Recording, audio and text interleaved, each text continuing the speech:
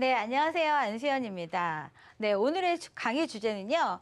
입원 일당보다 싼 간병 LTC 보험입니다. 우리가 입원했을 때를 대비해서 입원 일당 많이 준비하시는데요. 연령이 높으신 분들 같은 경우는 하루에 만 원을 받자고 만 원보다 더 되는 보험료를 납입을 하고 계시는데 오늘의 보험은요. 간병인을 어, 간병 LTC 보험인데요. 지금 내시는 이번 일당보다 더 저렴하고 또 추가로 이번 일당도 기간에 따라서 2만 원, 4만 원을 더 받을 수 있는 보장이니까요. 끝까지 집중해 보시기 바라겠습니다. 네, 오늘 이 플랜을 집중해야 하실 분들이 있습니다. 제가 한번 열거 해 봤는데요. 첫 번째, 나는 혼자 살고 있다. 요즘 가족들이 다 사는 그런 구성보다는 혼자서 어, 인생을 즐기시는 분들이 많이 있으신데요. 이런 혼자 사시는 분들 플랜 꼭 집중해 보- 해보시기 바랍니다. 그리고 두 개 이상의 만성 질환- 질환이 있지만 왠지 없는 사람보다 나는 더 오래 살 것 같다. 오래 살면 좋은 일이긴 하지만 아프지 않고 오래 사는 게 정답이겠죠. 나는 치매보험 그리고 간병보험 어느 게 좋을까 고민하시는 분들 예 지- 집중해 보시기 바랍니다. 그리고 입원비가 없다. 사실 입원하기 전에는 입원비에 대해서 관심들이 없습니다. 하지만 내가 만약 하루라도 입원을 한다면 증권을 찾아보겠죠. 아, 내가 왜 입원비를 가입을 안 했을까? 하지만 지금 보신다면 후회가 없을 것 같습니다.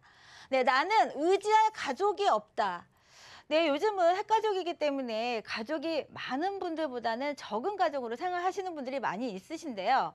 아, 그럼 지금 이런 분들은 꼭 집중해 보시기 바라시고요.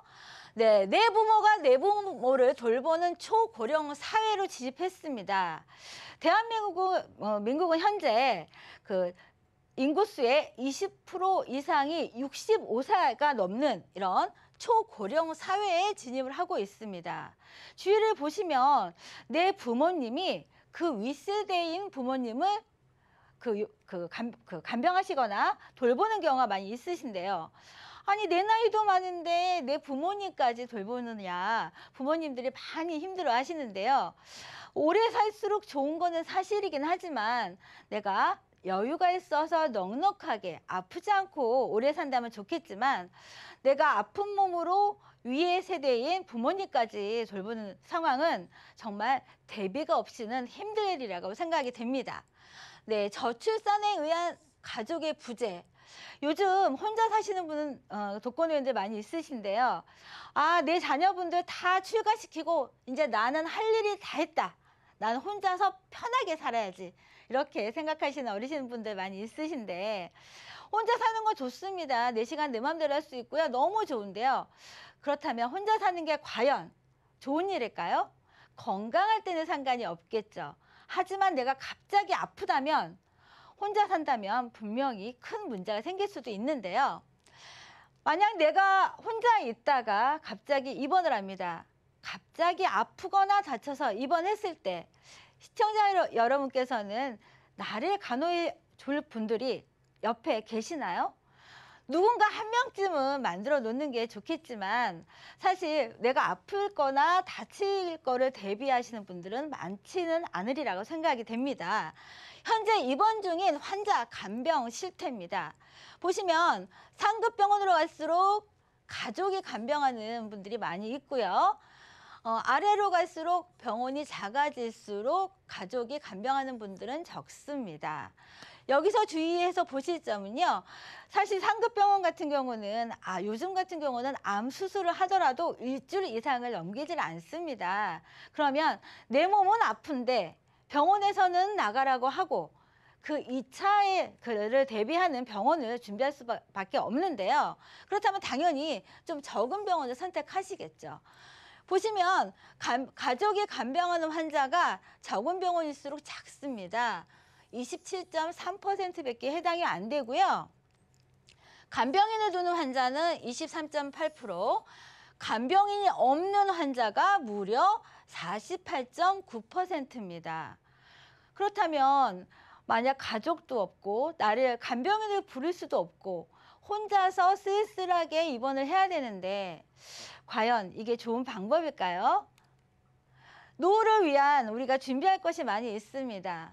여러 가지가 있겠지만 제가 첫 번째, 두 번째, 세 번째 한번 나열을 정리를 한번 해봤는데요. 첫 번째, 나이가 들수록 우리는 가족을 대신할 간병에 대해서 준비를 해야 됩니다. 간병은 사실 내가 아프지 않고서야 생각할 일이 거의 없겠죠.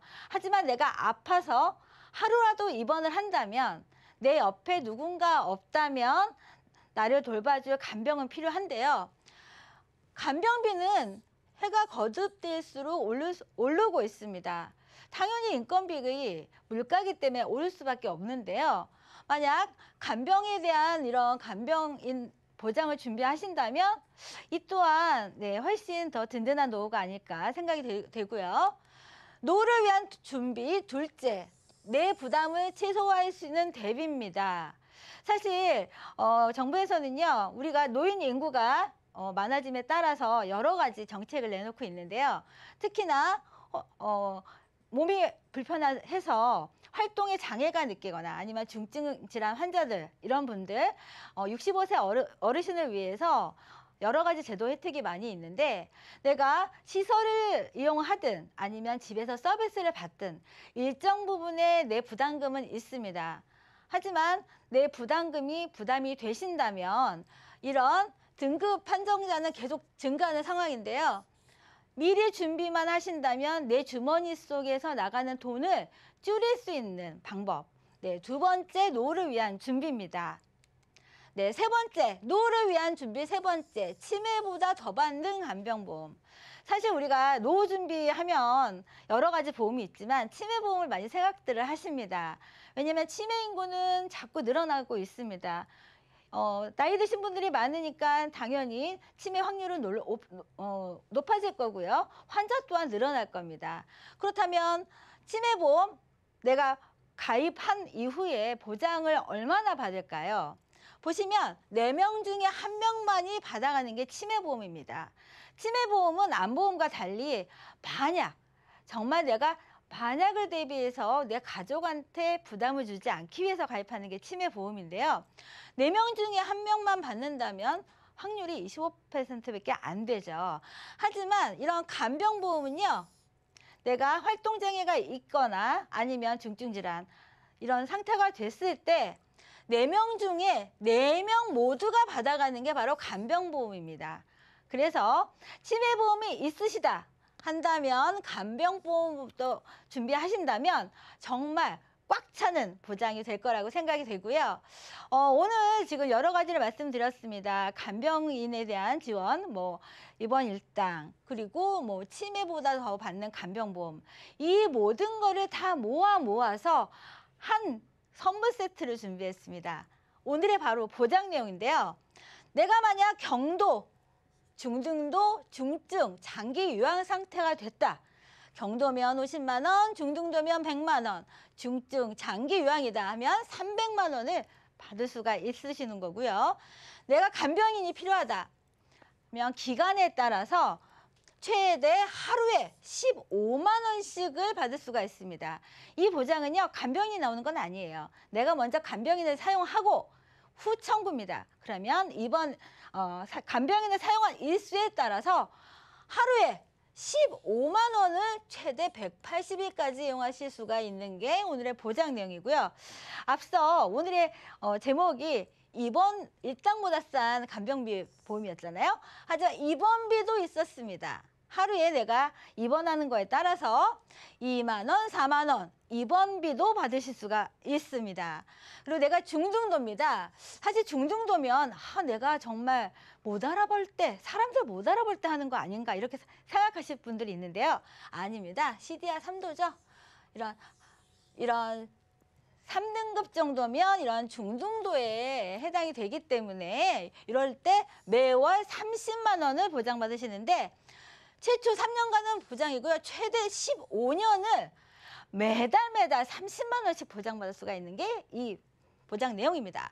그리고 내가 중등도 예, 또 진단을 받았다 했을 때 장문 방문 제가 서비스를 이용하시거나 아니면 보호 제가 지원 서비스를 이용하신다면 매월 20만 원, 10만 원 이렇게 각각 보장받으실 수가 있습니다. 그리고 우리가 많이 노인들이 많아지면서 우리가 노인성 질환이라고 불리는 대표적인 질환이죠. 파킨슨 로게릭변 진단을 받으셨다고 하면은요. 진단 받으시면 천만 원씩 각각 보장받을 수가 있고요. 만성 질환자 많이 있으시죠. 다발성 경화증의 진단을 받으신다면 이 또한 천만 원 보장받을 수가 있고요. 사실 노인성 질환 하면 또 관절염을 또 빼놓을 수가 없는데요. 특정 류마티스 관절염의 진단을 받으셨다 해도 천만 원 받을 수가 있습니다. 또 특정 중증 장애에 대해서 또 간병을 하시면은요 매월 40만 원 그리고 지정 간호급여를 또 하시면은요 매월 40만 원을 연간 20회 까지 받을 수가 있습니다. 그렇다면 지금 제가 한 5분에 걸쳐서 이런 보장 내용 말씀을 드렸는데요. 얼마를 보험료를 내면 이 많은 보장을 가져갈 수가 있을까요? 30대부터 보겠습니다. 30대 만 원대입니다. 사실 30대 분들 입원 일당 만 원 가입하려면 도- 보험료 얼마나 낼까요? 질병 입원 일당 같은 경우는요. 만 원 가까이 됩니다. 하지만 이 많은 보장을 가져가는데 30대 분들 만 원대고요. 40대 분들 2만 원대입니다. 입원 일당보다 정말 싸지 않습니까? 그리고 50대 분들 3만 원대고요. 정말 필요한 정말 필요하다고 생각되는 60대 분들도 5만 원대의 보험료로요. 지금 이렇게 열개하, 열거한 모든 보장을 가져가실 수가 있습니다. 아, 그렇다면 최종 정리 한번 해보겠습니다. 네, 오늘의 보장 내용은요. 이번 일당보다 싼 바로 간병 LTC 보험입니다. 내가 아프, 아파거나 다쳐도 간병인 을 쓴다면 내가 최대 하루에 15만 원까지 보장을 받으실 수가 있고요. 첫날부터 입원비 4만 원, 2만 원 이렇게 보장받을 수가 있습니다. 그리고 내가 중등도 장기 이상의 요양 상태다. 그러면 내가 어, 1년을 받다가 사망을 한다 하더라도 나한테는 3년 보증이기 때문에 내 가족분들한테 매월 30만 원을요 보장을 해드립니다. 어, 병원, 요양병원 구분이 없습니다. 사실 이게 오늘의 포인트입니다. 사실 어, 어떤 보험, 어, 간병보험 알아보신 분들은 이런 거 많이, 들어보셨을 거예요. 아, 내가 입원했을 때 하루에 10만 원 주고요. 요양병원이면 2만 원이고요. 뭐 이런 얘기 많이 들어보셨을 거예요. 하지만 오늘의 플랜은요. 병원이든 정말 요양병원이든 최대 입원 일수에 따라서 하루에 15만 원입니다. 요양병원하고 병원의 구분이 없습니다. 사실 병원에서 입원 오래 안, 시, 안 시켜주는 경우에는 우리가 암치료 내 몸은 수술을 했지만 나, 나, 내 몸은 아직 회복이 안 됐습니다. 그러면 요양병원 가서 당연히 치료를 하셔야 되는데요. 이때 또한 하루에 15만 원까지 최대로 받으실 수가 있는 거고요. 활동장애와 치매를 모두 보장한다고 보시면 됩니다.